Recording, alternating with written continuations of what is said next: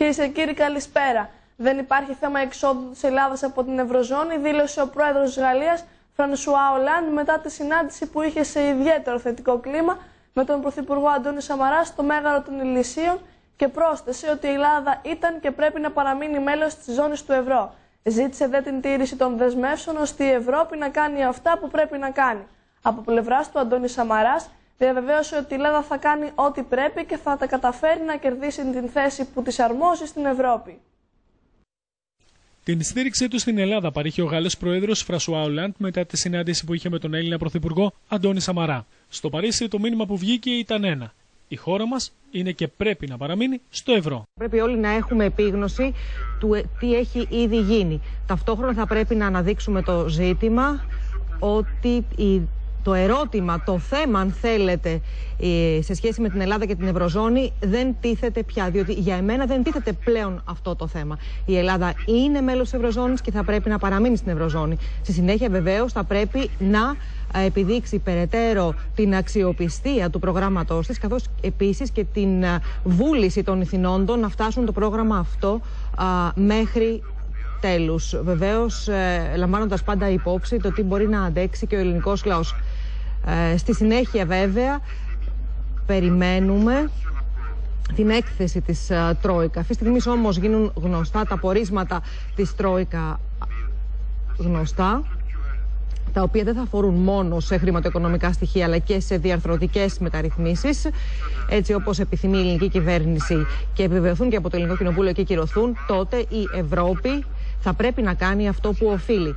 Από την πλευρά του, ο Πρωθυπουργός Αντώνης Σαμαράς σημείωσε πως η ανάκαμψη είναι προπόθεση για την υπέρβαση της κρίσης και σε αυτό το πλαίσιο πρέπει να κινηθεί η πολιτική της ανάπτυξης. Άρα μου δόθηκε ευκαιρία να γνωρίσω τον Γάλλο Πρόεδρο και να συζητήσουμε τις μεγάλες απειλές, τις μεγάλες προκλήσεις αλλά και τις κοινές προοπτικές που αντιμετωπίζουμε στην Ευρώπη. Κάποιοι ποντάρουν ότι η Ελλάδα δεν θα τα καταφέρει.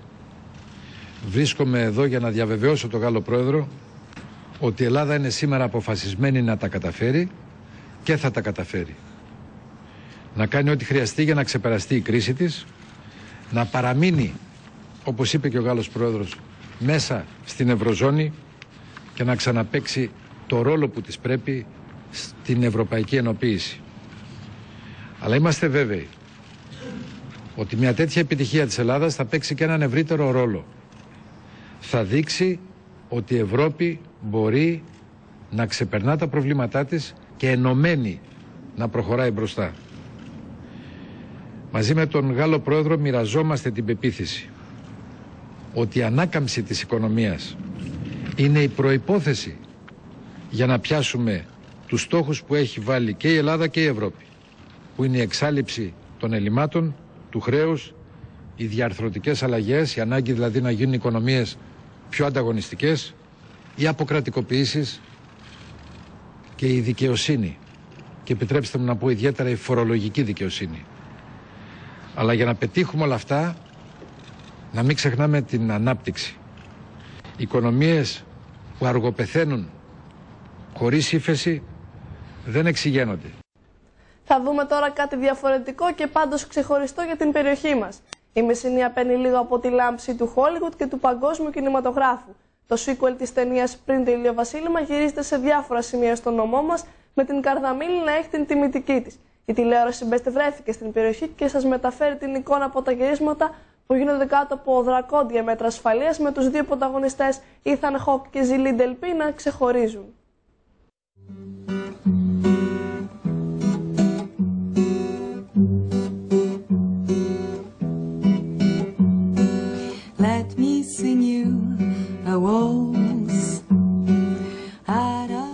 Αέρας Hollywood στη Μεσσηνία και πιο συγκεκριμένα αυτή την φορά στην Καρδαμίλη. Πρώτα ήταν η Βιέννη και μια συνάντηση που οδήγησε σε ατέλειωτες βόλτες και συζητήσεις. Αρκετά χρόνια αργότερα ήρθε το Παρίσι. Τώρα είναι η σειρά της Ελλάδας και συγκεκριμένα της περιοχής μας.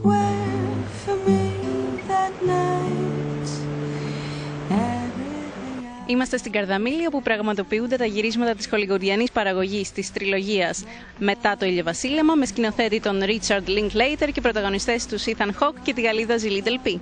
Τα γυρίσματα γίνονται στο γραφικό λιμάνι της Καρδαμίλης με άκρα μυστικότητα και δρακόντια μέτρα ασφαλείας.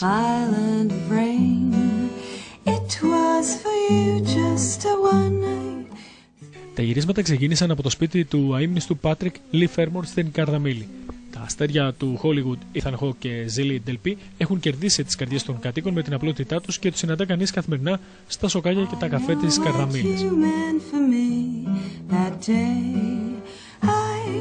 Παραγωγή της ταινίας είναι ο Χρήστος Κωνσταντακόπουλος, ο γιος του καπετάν Βασίλη και η Αθηνά Τσαγκάρη.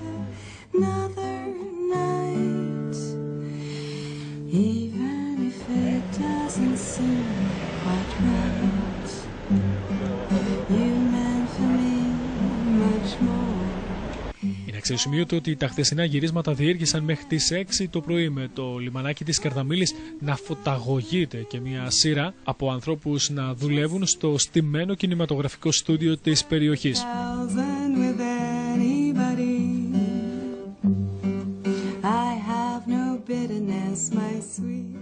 Τα γυρίσματα απόψε θα συνεχιστούν μέχρι τις 6 το πρωί και σε όλη την υπόλοιπη Μεσσηνία μέχρι τις 13 Σεπτέμβρη. Αέρας Hollywood λοιπόν στην ε, Καρδαμίλη και τη Μεσσηνία με την ταινία να συνεχίσει να γυρίζεται στην Καλαμάτα, την Κορώνη και την Πύλο.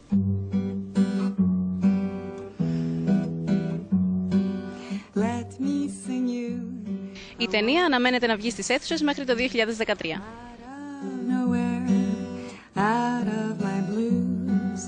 Let me sing you a waltz about this lovely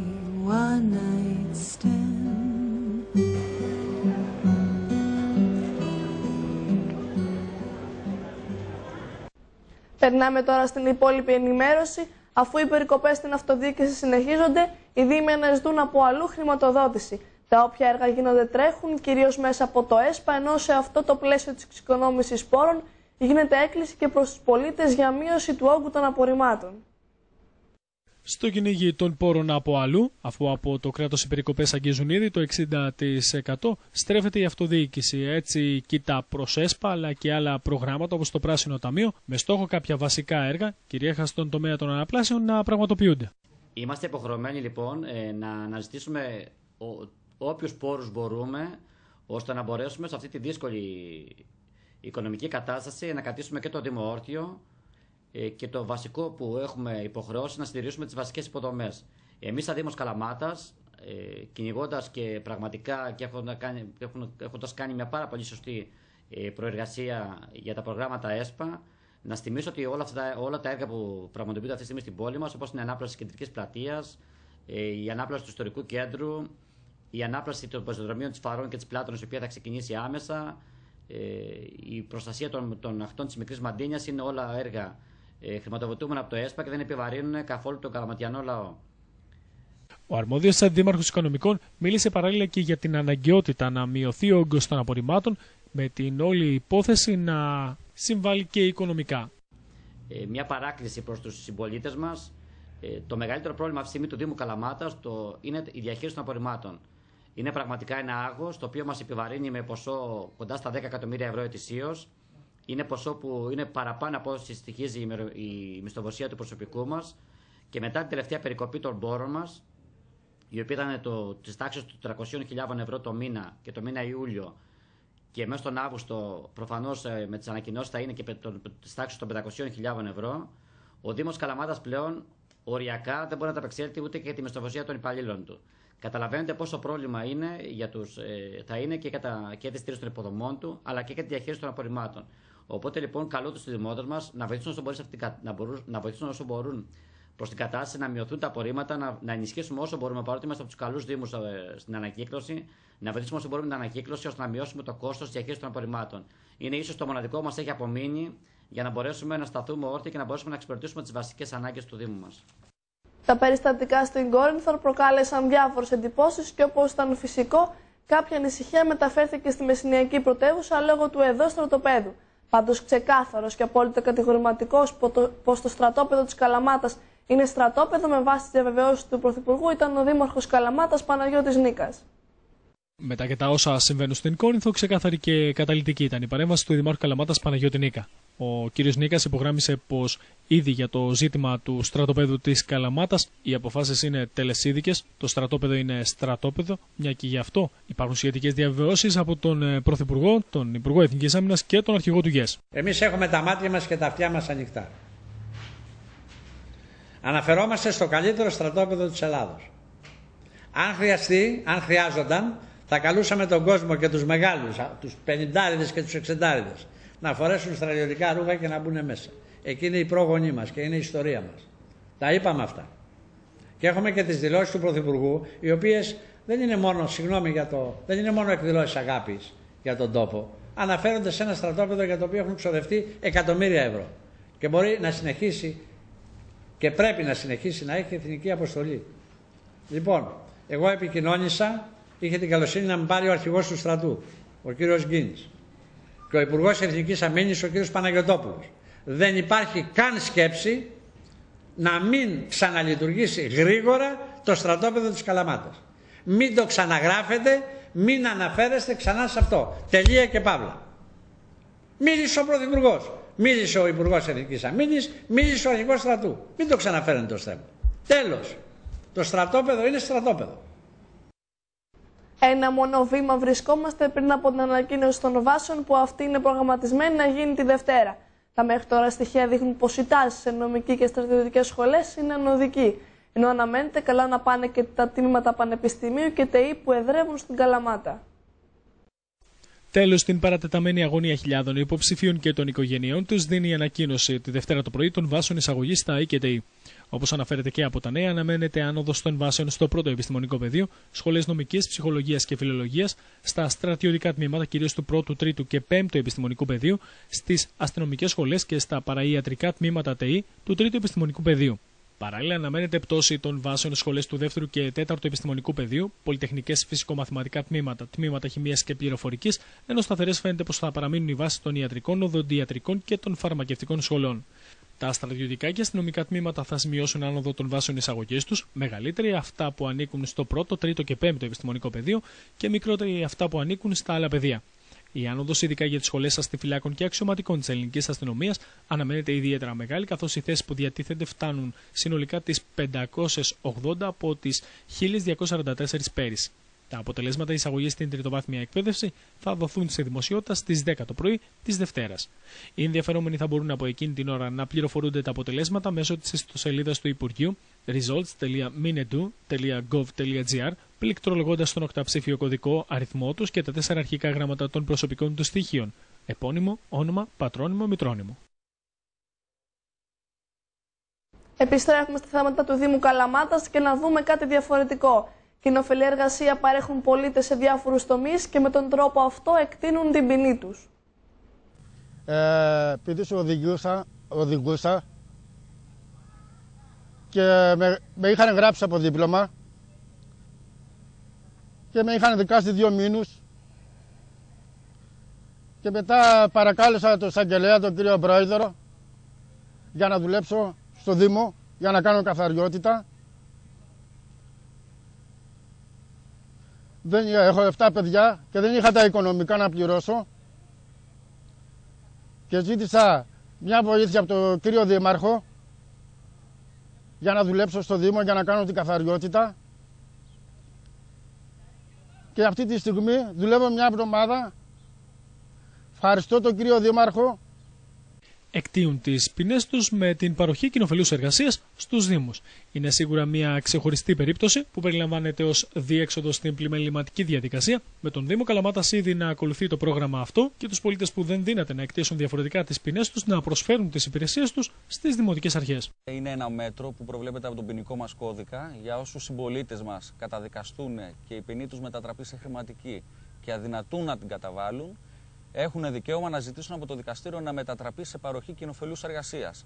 Και ε, όπως είπαμε, θα παρέχει την, ε, την εργασία του, κοινοφελής εργασία λέγεται αυτό το μέτρο, σε Δήμους, σε νομικά πρόσωπα δημοσίου δικαίου, γενικά σε υπηρεσίες του δημοσίου. Ο Δήμος Καλαμάτας έχει υπαχθεί σε αυτό το πρόγραμμα ε, είναι στο ΦΕΚ δηλαδή με τους φορείς που μπορούν οι συμπολίτες μας να εκτίσουν την ποινή τους. Έχει ένα ιδιαίτερο ενδιαφέρον ε, από πλευράς ε, αριθμών, ενώ το 2010 που πρωτομπήκαμε στο πρόγραμμα δεν είχαμε καμία περίπτωση, το 2011 είχαμε 5 περιπτώσεις, φέτος έχουμε φτάσει τις 21 και πιστεύουμε, εκτιμούμε ότι θα αυξηθεί το νούμερο αυτό. Φαντα... Ε, νομίζω το αντιλαμβανόμαστε όλοι λόγω της κρίσης. Ε, δουλεύω μια εβδομάδα και έχω μια 40 μέρες ακόμα καθαριότητα. Ε, για όλους αυτούς τους συμπολίτες μας ο Δήμος τους αντιμετωπίζει με ευαισθησία, τους υποδέχεται με ευαισθησία και δεν υπάρχει κάποια διακριτική μεταχείριση ε, για να μην έρχονται και σε δύσκολη θέση κατά τη διάρκεια εκτέλεσης της ποινής τους. Η κρίση έχει και άλλες συνέπειες πέρα των οικονομικών, σημαντικές αυτές σε κοινωνικό επίπεδο αλλά και σε επίπεδο ανθρωπίνων σχέσεων. Όπως θα δείτε στο επόμενο βίντεο, τα ζευγάρια απομακρύνονται.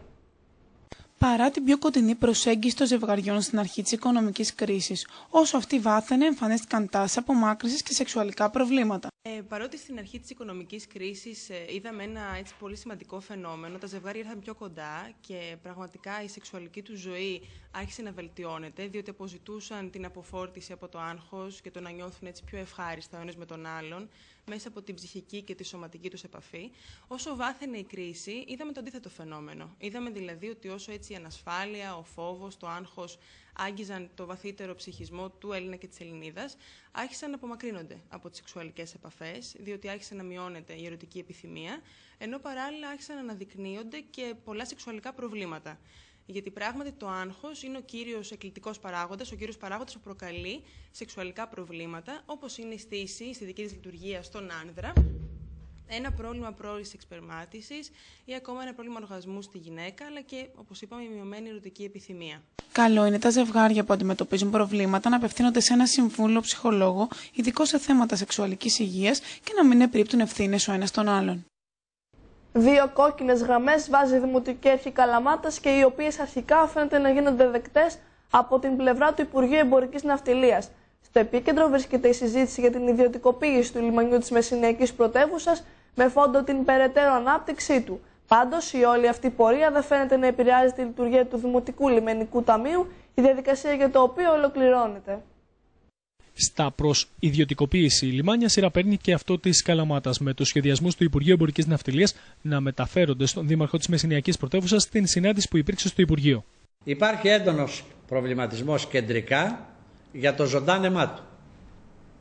Δηλαδή τη μετατροπή ενός μέρους του λιμανιού σε μαρίνα. Υπάρχει σοβαρός προβληματισμός και σκέψεις που γίνεται προσπάθεια να τεκμηριωθούν στη Γενική Γραμματεία Λιμένων και Λιμενικής Πολιτικής. Εμείς εδώ ως Δήμος προφανώς και προχωρούμε τη διαδικασία και πρέπει αυτή και να συντομεύσει και να κλείσει λειτουργίας του Δημοτικού Λιμενικού Ταμείου. Η κατεύθυνση λοιπόν που υπήρξε προς τη Δημοτική Αρχή Καλαμάτας είναι ότι και τα λιμάνια μπαίνουν σε τροχιά ιδιωτικοποίησης μέσω των ΣΔΙΤ και κατά ομάδες. Θα πρέπει να σημειωθεί, όπως ανέφερε ο κ. Νίκας, πως δεν διαταράσσεται η λειτουργία του Δημοτικού Λιμενικού Ταμείου. Όσον αφορά τη μετατροπή του Λιμενικού Ταμείου σε δημοτικό,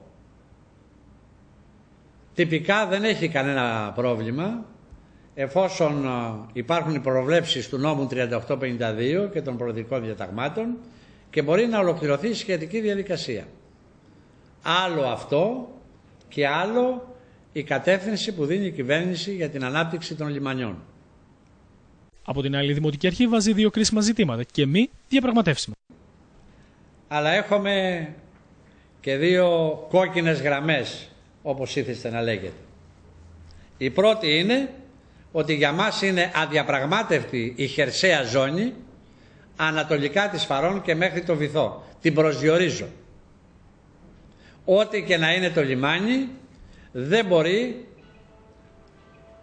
η διαχείριση των τραπεζοκαθισμάτων και των δυνατοτήτων που προσφέρει η λεγόμενη χερσαία ζώνη, γιατί η χερσαία ζώνη με τραπεζοκαθίσματα δεν νοείται, μόνο στην Ελλάδα συμβαίνει, δεν μπορεί λοιπόν η διαχείρισή της να γίνεται από, παρά από το Δήμο.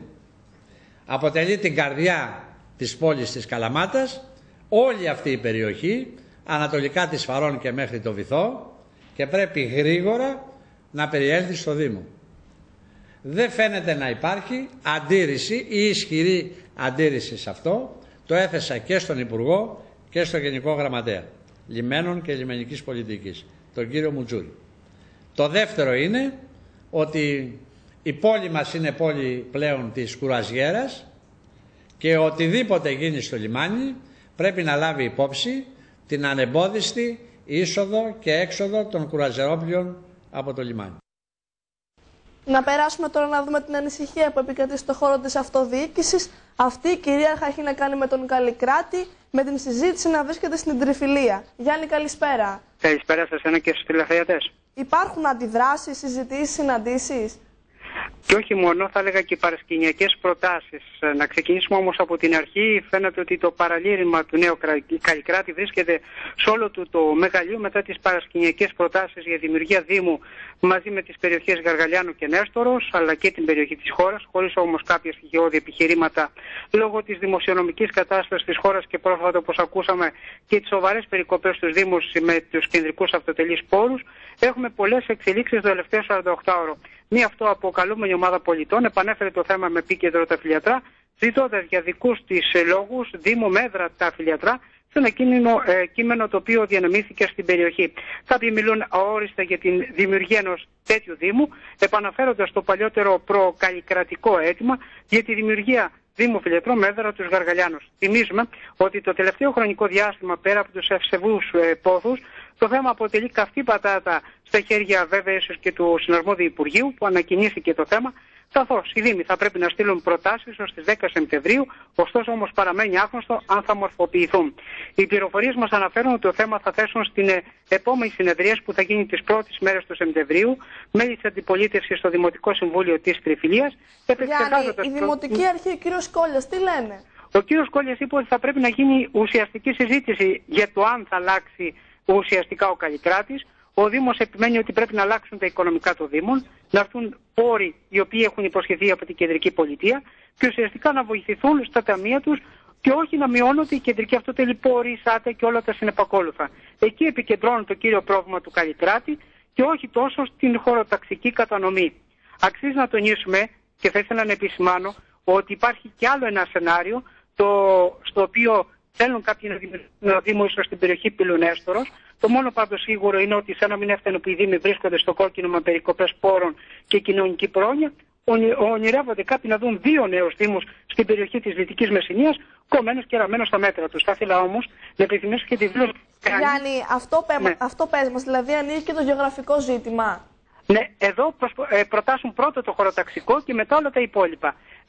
Αυτοί που το ανοίγουν δεν ε, είναι τουλάχιστον με κάποιες παραξενιακές διαβουλεύσεις σύμβουλοι, οι πρώην αιρετοί, οι οποίοι τώρα είναι ενοποιημένοι σε ένα νέο Δήμο, όπως και από την περιοχή της χώρας, ακούσαμε κάποιες τέτοιες προτάσεις. Θα ήθελα όμως να σε επισημάνω την δήλωση που έκανε ο Δήμαρχος Πυλονέστο, ο κ. Καφαντάρης, τον συνάδελφο Θέμη Κανελόπουλο, σύμφωνα με την οποία κάποιοι δεν διαβάζουν σωστά το, το κείμενο του, α, του κ. Στυλιανίδη, το οποίο λέει για αλλαγή προς το καλύτερο του Καλλικράτη, όχι όμως και σοβαρές αλλαγές ό,τι αφορά το χωροταξικό ζήτημα.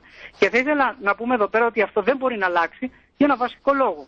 Ότι υπάρχει ήδη σοβαρό οικονομικό πρόβλημα, υπάρχει επίσης ενοποιημένες υπηρεσίες στους Δήμους, άρα αυτές θα πρέπει να αλλάξουν.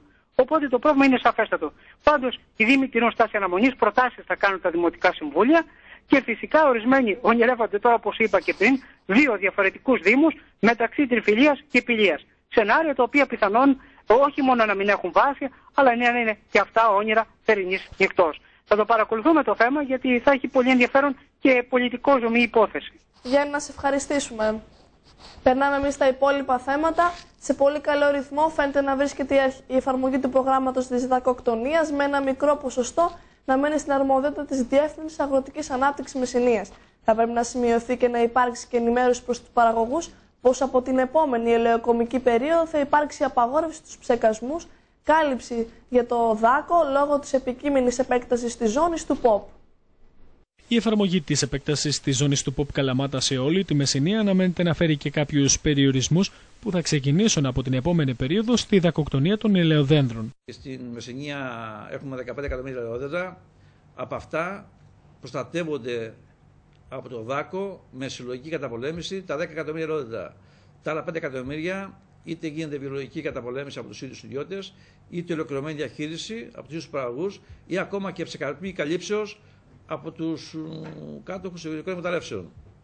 Αυτό μέχρι σήμερα είναι θεμητό, όμως από του χρόνου που θα υπάρξει επέκταση του πόπου καλαμάτα σε όλο τον νόμο δεν επιτρέπεται ε, ψεκαρμή καλύψεως. Θα γίνει ή δολοματική ή ολοκληρωμένη ή βιολογική καταπολέμηση.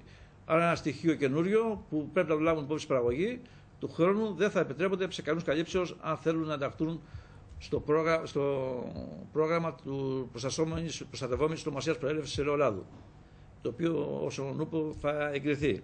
Στην περιοχή της Τριφυλίας, ο πρώτος γενικός ψεκασμός έχει ολοκληρωθεί από τα τέλη Ιουλίου, ενώ για την Διεύθυνση Αγροτικής Ανάπτυξης Μεσενία το ποσοστό φτάνει ήδη στο 75%. Στην Κυπαρσία, ο πρώτος γενικός ψεκασμό έχει ολοκληρωθεί τέλος Ιουλίου. Στη Διεύθυνση Αγροτικής Οικονομίας Μεσενία, ο πρώτος ψεκασμό έχει ολοκληρωθεί κατά 75 με 80% και αυτό οφείλεται στο ότι λόγω του καύσωνα οι δακοσυλλήψεις είναι πολύ χαμηλές και δεν είναι απαραίτητο να γίνουν σε ορισμένες περιοχές ε, ψεκασμοί. Η διαδικασία όμως συνεχίζεται ε, και θέλω να τονίσω ότι σε ορισμένες περιοχές της Διεύθυνσης Αγροτικής Οικονομίας Μεσηνία έχει γίνει και δεύτερος τοπικός ψεκασμός σε περιοχές ιδιαίτερα ευαίσθητες. Το πρόβλημα με τους λαθρομετανάστες συνεχίζει να ταλανίζει τους κατοίκους στη Δυτική Ελλάδα, όπου και τα περιστατικά που είχαν στο πρόσφατο παρελθόν καταγράφει στην ΑΧΑΗ αποτέλεσαν και την, ε, την αφορμή και για την έναρξη της επιχείρησης Ξένιο ΖΕΣ.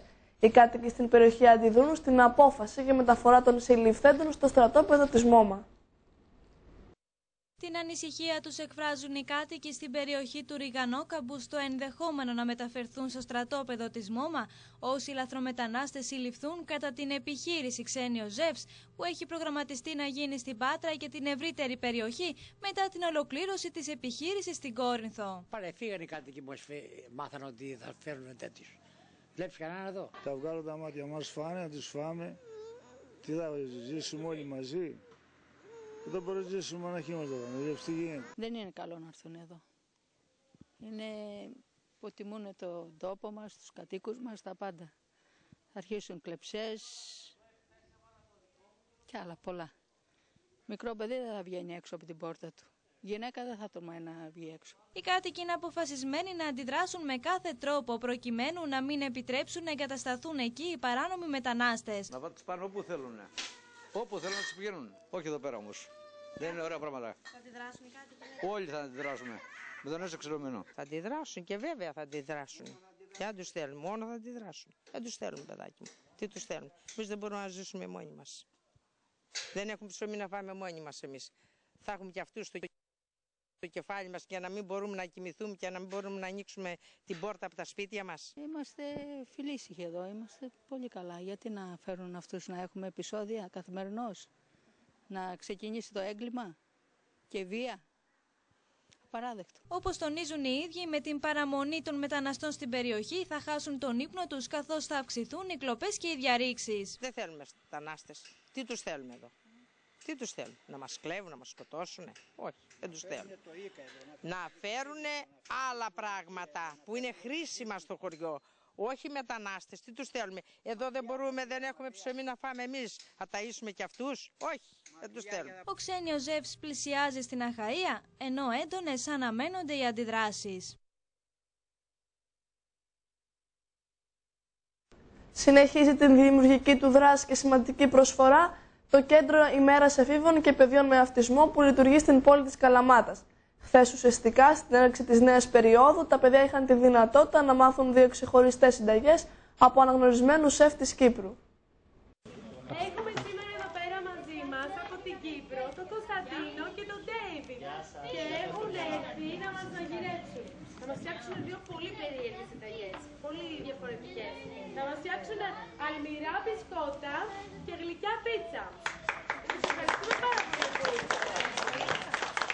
Το Κέντρο ημέρας εφήβων και παιδιών με αυτισμό παρέχει καθημερινά δημιουργικές δραστηριότητες σε αρκετά παιδιά. Μία από αυτές ήταν και η μαγειρική. Τα μικρά παιδιά είχαν τη δυνατότητα να μάθουν από αναγνωρισμένους σεφ ξεχωριστές συνταγές. Ξεκινάει η καινούργια μας ακαδημαϊκή χρονιά ουσιαστικά. Τελείωσαν οι διακοπές και για να καλωσορίσουμε τα παιδιά, έχουμε δύο φίλους από την Κύπρο, τον Κωνσταντίνο και τον Ντέιβιτ. Έχουν έρθει σήμερα να μας μαγειρέψουν εδώ στο κέντρο ημέρας για παιδιά με αυτισμό. Ε, Καταρχάς, να θέλω να ευχαριστήσω τον κύριο Παύλοπούλου για την πρόσκληση. Έχουμε έρθει με πολύ χαρά από την Κύπρο να βοηθήσουμε εδώ στην εκδήλωση. Πιστεύω τα παιδιά είναι πολύ σημαντικό να συμμετάσχουν σε αυτό το σε αυτή τη εκδήλωση για να είναι πιο δημιουργικά και η δημιουργία βοηθάει πολύ έτσι στο να αναπτυχθούν σαν προσωπικότητες. Έχουν ευκαιρία να φτιάξουν δύο πράγματα: αλμυρά μπισκότα, αλμυρά muffins και γλυκιά πίτσα με φρούτα. Πιστεύω θα περάσουν πολύ ωραία. Είναι πολύ δημιουργικές συνταγές και θα περάσουμε και εμείς και τα παιδιά πολύ ωραία. Αξίζει να σημειωθεί ότι το κέντρο φιλοξενεί μέχρι στιγμής 30 παιδιά με αυτισμό και στόχος του είναι η ευαισθητοποίηση και ενημέρωση της κοινωνίας. Το κέντρο έχει λειτουργεί με την πρωτοβουλία του Συλλόγου Γονέων και Δεμόνων Φίλων Ατόμων με Αυτισμό από το 2009, από, τότε, από τον Ιούλιο του 2009. Από τότε έχουμε καταφέρει και έχουμε αρκετές δράσεις. Προσφέρουμε σε περίπου 30 παιδιά δωρεάν θεραπείε, λογοθεραπεία, εργοθεραπεία, ειδική διαπαιδαγώγηση. Κάνουμε αρκετά προγράμματα Προωθούμε αρκετές δράσεις με σκοπό την ευαισθητοποίηση και την ενημέρωση της κοινότητας. Είναι καλό να ξέρουμε ότι υπάρχουν παιδιά με αυτισμό, πώς να τα αντιμετωπίζουμε, υπάρχουν ανάμεσά μας. 17.000 επιπλέον θέσεις για παιδιά θα δημιουργηθούν σε δημοτικούς παιδικούς σταθμούς εξαιτίας της αυξημένης ζήτησης λόγω κρίσης. Αξίζει να σημειωθεί βέβαια ότι οι περικοπές θα γίνουν στον προπολογισμό για αυτούς, με αποτέλεσμα οι γονείς να επιβαρύνονται με μεγαλύτερο οικονομικό κόστος. Αυτό το μέτρο της δημιουργίας νέων θέσεων στοχεύει στην ενίσχυση της απασχόλησης των γυναικών και στη στήριξη του οικογενειακού θεσμού.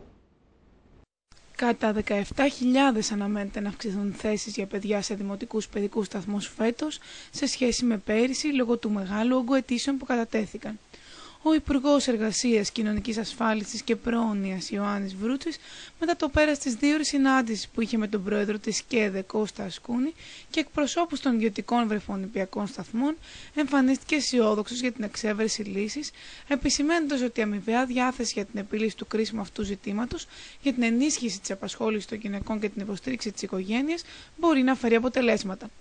Ο Υπουργός Εργασίας ανέφερε ότι όπως διαπιστώθηκε δεν υπάρχουν λιμνάζοντα κονδύλια στο Ευρωπαϊκό Κοινοτικό Ταμείο και σημείωσε ότι σε συνεργασία με τη Γενική Γραμματεία Διαχείρισης Κοινοτικών και Άλλων Πόρων και της επικεφαλής της Άννας Δαλαπόρτα, το Υπουργείο παρουσίασε στην ΚΕΔΕ και στους εκπροσώπους των ιδιωτικών βρεφονιπιακών σταθμών την πρόταση που καλύπτει, όπως είπε, σε μεγάλο βαθμό την ιδιαίτερα αυξημένη ζήτηση της φετινής χρονιάς. Σύμφωνα με πληροφορίες, η αύξηση των αιτήσεων θα επιτευχθεί μέσω της μείωσης της επιδότησης των παιδικών σταθμών από το Υπουργείο Εργασίας Αναπαιδή, αλλά και της επιπλέον επιχορήγησης κατά 20 εκατομμύρια ευρώ μέσω κοινοτικών πόρων. Αναλυτικότερα πέρυσι επιδοτήθηκαν 43.000 θέσεις με 175 εκατομμύρια ευρώ, ενώ φέτος θα επιδοτηθούν 60.000 θέσεις με 145 εκατομμύρια ευρώ. Αυτό θα έχει ως αποτέλεσμα σε κάποιες περιπτώσεις οι γονείς να κληθούν να καταβάλουν υψηλότερα ποσά μηνιαίω για τη φύλαξη των παιδιών τους. Καταθέτουμε σήμερα το απόγευμα μία σειρά από προτάσεις. Προτάσεις, οι οποίες θα αξιολογήσει το Διοικητικό Συμβούλιο της ΚΕΔΕ και περιμένουμε τις απαντήσεις από εκεί για να την αναχέτηση του προβλήματος. Πιστεύουμε και ευχόμαστε ότι στο τέλος θα κερδίσουμε το στίχημα της λύσης του προβλήματος την μεγαλύτερη δυνατή του έκταση. Σύμφωνα πάλι με τον κύριο Βρούτσι, εκπρόσωποι των ιδιωτικών βρεφονιπιακών σταθμών αποδέχτηκαν τις προτάσεις του Υπουργείου και η ΚΕΔΕ θα λάβει τις αποφάσεις της κατά τη σύγκληση του Διοικητικού της Συμβουλίου. Αισιόδοξος εμφανίστηκε από την πλευρά του και ο πρόεδρος της ΚΕΔΕ Κώστας Ασκούνης, ο οποίος τόνισε ότι υπάρχουν περιθώρια συμφωνίας, ενώ ανέφερε ότι το πρόβλημα έχει δημιουργηθεί από τη ζήτηση για παιδικούς σταθμούς, η οποία έχει αυξηθεί κατά 43% λόγω της κρίσης που οδηγεί προς τους δημοτικούς παιδικούς σταθμούς και οικογένειες της μεσαίας τάξης. Η ΚΕΔΕ ζήτησε από την ηγεσία του Υπουργείου να εξατλήσει κάθε προσπάθεια αύξησης του προπολογισμού του προγράμματος του ΕΣΠΑ, το οποίο δίνει τη δυνατότητα δωρεάν φιλοξενίας παιδιών στους παιδικούς σταθμούς, ώστε να φιλοξενηθούν όσο το δυνατό περισσότερα παιδιά, επιπλέον των 43.000 που έχουν εγγραφεί μέχρι σήμερα. Οι προτάσεις είναι μία αύξηση του υπάρχοντος προπολογισμού από μεριά του Υπουργείου και η δυνατότητα να εξετάσουμε εμείς ως Δήμοι να μειώσουμε το κόστος αναπαιδή ώστε συμποσούμενα τα δύο αυτά ποσά να μας δώσει τη δυνατότητα να πάρουμε περισσότερα παιδιά. Θέλω να πιστεύω ότι θα καλύψουμε ένα σημαντικό αριθμό παιδιών που σήμερα δεν έχουν καλυφθεί, που σήμερα μένουν έξω από τους παιδικούς σταθμούς, αλλά δεν θα καλύψουμε το σύνολο, το 100% των αιτήσεων που έχουν υποβάλει ενδιαφερόμενες μητέρες. Το κόκκινο η περιοχή μας με τον καύσωνα να επιστρέφει έως και τη Δευτέρα. Κάποιες ανάσχες δροσιάς για ολόκληρη τη Δυτική Ελλάδα αναμένονται από την Τρίτη. Μείνει καύσωνας μέχρι και την Δευτέρα. Καλό καιρό σε ολόκληρη τη χώρα και ιδιαίτερα υψηλές θερμοκρασίες περιμένουμε σήμερα, το Σάββατο, την Κυριακή και την Δευτέρα. Ενώ από την Τρίτη, σύμφωνα με τους μετεωρολόγου, αναμένεται να δροσίσει. Τις μέρες που θα ακολουθήσουν από σήμερα μέχρι και την ε, Δευτέρα, η θερμοκρασία θα παραμείνει σε υψηλά για, σχετικώς για την εποχή επίπεδα. Δηλαδή, μπορούμε να μιλήσουμε για ένα μίνι κάψονα, το κάψονα εντός αγωγικών, διότι αν και στις υπηρετικές περιοχές της Ελλάδας σε ορισμένες από αυτές η θερμοκρασία αναμένεται να πλησιάσει και τους 40 βαθμούς Κελσίου στην περιοχή τη δική μας, τουλάχιστον την παραθαλάσσια η θάλασσα θα μας βοηθήσει κατά κάποιο τρόπο ώστε οι θερμοκρασίες να μείνουν χαμηλότερες. Εγώ δεν περιμένω να ξεπεράσουν τους 38 με 39 βαθμούς κυρίως στην περιοχή της Πάτρας. Αυτό θα βοηθήσει και ένα αεράκι το οποίο δεν θα σταματήσει να φυσάει όλες αυτές τις μέρες και θα αρχίσει η θερμοκρασία να πέφτει για να φτάνει σε φυσιολογικά για την εποχή επίπεδα ίσως και λίγο χαμηλότερα από την Τρίτη και μετά. Η θερμοκρασία αναμένεται να κοιμανθεί από 22 έως και 41 βαθμούς Κελσίου σε κάποιες περιοχές. Βέβαια σε ό,τι αφορά την Αχαΐα το θερμόμετρο ενδέχεται να σκαρφαλώσει στους 41, ωστόσο οι θερμοκρασίες που θα υπάρχουν κατά τη διάρκεια της ημέρας θα είναι από 25 έως 38 με 39 βαθμούς Κελσίου. Η ζέστη επιστρέφει και πάλι και μέχρι τη Δευτέρα σύμφωνα με τους μετεωρολόγους το θερμόμετρο θα σκαρφαλώσει και πάλι στα ύψη και στην περιοχή μας. Δεν αποκλείεται να δείξει ακόμη και τους 41 βαθμούς Κελσίου. Θα έχουμε νέμους ε, κυρίως ανατολικούς τις περισσότερες μέρες γύρω στα 3 με 4 από φορ. Ε, θέλει λίγο προσοχή σε ό,τι αφορά ε, τη χρήση της φωτιάς σε ανοιχτούς χώρους. Αυτό που τονίζεται για ακόμη μια φορά είναι πώς θα πρέπει να είμαστε ιδιαίτερα προσεκτικοί σε ό,τι αφορά την έκθεσή μας στον ήλιο. Καλό είναι να απολαμβάνουμε τη θάλασσα μετά τις 5 η ώρα το απόγευμα. Ε, ήδη η ένταση της ηλιακής εκτοβολής αρχίζει και μειώνεται. Πάλι θέλει προσοχή. Καλό είναι και ειδικά επειδή θα κάνει πάρα πολύ ζέστη να μην εκτιθέμεθα στον ήλιο κυρίως τις μεσημεριανές ώρες της ημέρας. Καλό είναι ειδικά τα μικρά παιδιά και όσοι είναι πιο έτσι, ευαίσθητοι οργανισμοί εξασθενημένοι να πηγαίνουν στην παραλία κυρίως τα απογεύματα από τις 6 ώρα θα έλεγα και μετά. Μια μαγευτική παράσταση χάρισε χθες ο γνωστός σουτίστας Γιώργος Μαρινάκης και άλλη γνωστή μουσική σε όσους παρευρέθηκαν στο αμφιθέατρο του Κάστου Καλαμάτας. Η παράσταση έδωσε γεύσεις Ανατολής και αρώματα Ελλάδας. Μια εκπληκτική παράσταση με αρώματα Ανατολής και γεύση από όλη την Ελλάδα χάρισε χτες βράδυ γνωστός σουτίστα Γιώργος Μαρινάκης και άλλοι εξέχοντες μουσική σε όσους παρευρέθηκαν στο κάστρο της Καλαμάτας.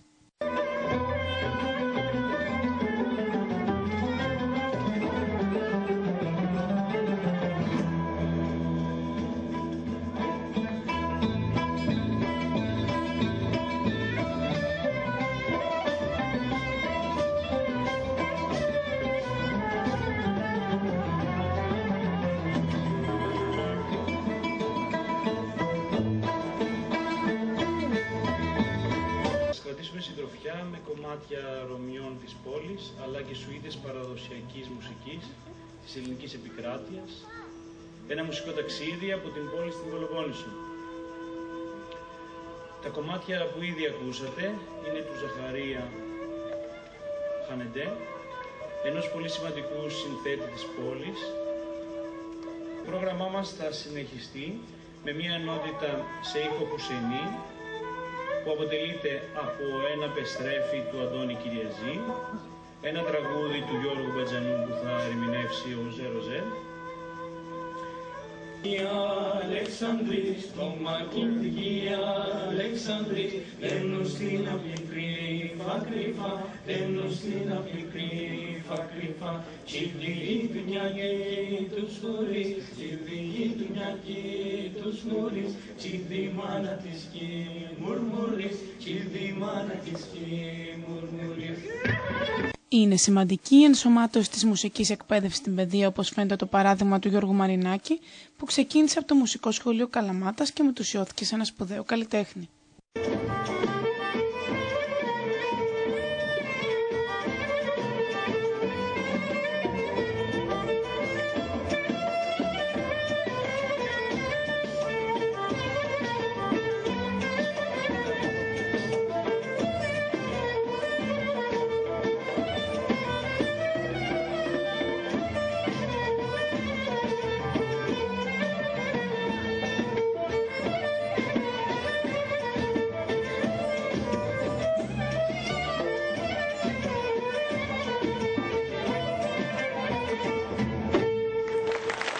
Όταν σε 12χρονη δημόσια εκπαίδευση διδάσκονται οι μουσικοί και οι τέχνες, τότε μιλάμε για μόρφωση και όχι για κατάρτιση.